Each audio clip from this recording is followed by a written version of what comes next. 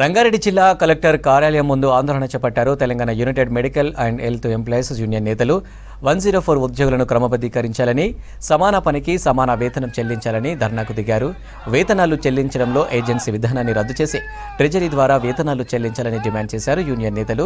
Corona సమయంలో మూడు వేవులలో ప్రజలకు సేవలు అందించామని రెగ్యులరైజేషన్కు అన్ని అర్హతలు ఉన్నప్పటికీ ప్రభుత్వం స్పందించడం లేదని ఆవేదన వ్యక్తం చేశారు. జీవో నెంబర్ సిక్స్టీ ప్రకారం ఉద్యోగులకు స్లాబ్ల పద్ధతిన వేతనాలు చెల్లించడం వలన తీవ్రంగా నష్టపోతున్నామన్నారు. అనంతరం కలెక్టర్కు వినతి పత్రాన్ని అందజేశారు.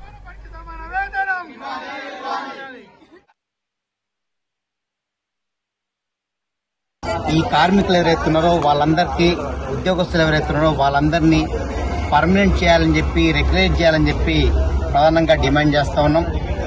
రెండోది వీళ్ళకి ఉద్యోగ భద్రత కల్పించాలని చెప్పి మేము సిఐటీగా medical and health department union తరఫున మేము డిమాండ్ చేస్తూ ఉన్నాం.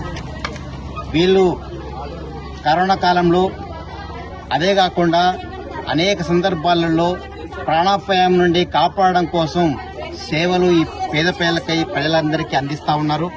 ఈ రాష్ట్ర ప్రభుత్వం కూడా ఆ విధంగా గుర్తించి మిమ్మల్ని అందరినీ పర్మనెంట్ చేస్తామని చెప్పి అనేక సందర్భాల్లో హామీ ఇచ్చింది. వీళ్ళు ప్రాణాలకు తెగించి కూడా వీళ్ళు కరోనా కాలంలో ఇతర కాలంలో కూడా పనిచేస్తున్నా కూడా ప్రభుత్వం మాత్రం వీళ్ళని పట్టించుకోకుండా దూరం కొట్టే పని చేస్తూ ఉంది అన్యాయం చేస్తూ ఉంది. కనీస వేతనాలు కూడా అమలు చేయకుండా వీళ్ళని మోసం చేస్తూ ఉంది. అందుకే మేము డిమాండ్ చేస్తున్నాం ఈ ప్రభుత్వానికి. వీళ్ళందరినీ రెగ్యులేట్ చేసి క్రమబద్ధీకరణ చేయాలని చెప్పి మేము డిమాండ్ చేస్తూ ఉన్నాం.